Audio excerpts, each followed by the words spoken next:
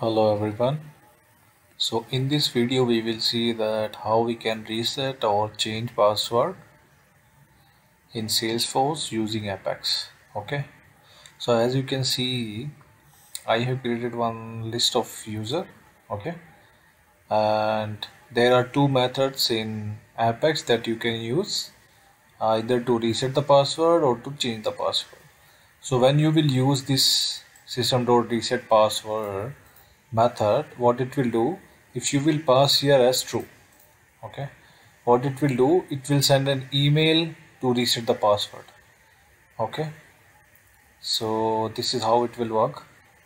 And if you just want to directly change the password you don't want to send any notification uh, to the user to change the password then you directly use this method pass the user id and uh, pass the password that you want to set okay so these are the two methods. This you can directly change the password. This is to send the email to reset the password. Okay so how you can fetch the users? So you can fetch a single user also like this. I am create i have created a string username. Okay either you can fetch it like this if you are if you want to do only for a single user if you want to do for multiple users so you can query like this or you can create a list of string then you can pass here okay?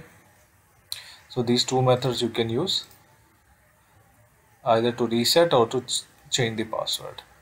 So this this code I have written to run in anonymous apex anonymous window okay? This code I can run in anonymous window so either you can create an apex class and then that apex class you can use either in Visualforce page you can create a Visualforce page for your users. So they they can directly change the password from there. Or you can create an aura component or you can create an lwc component. Okay? So it's up to you how you want to use this code. Okay? Thank you so much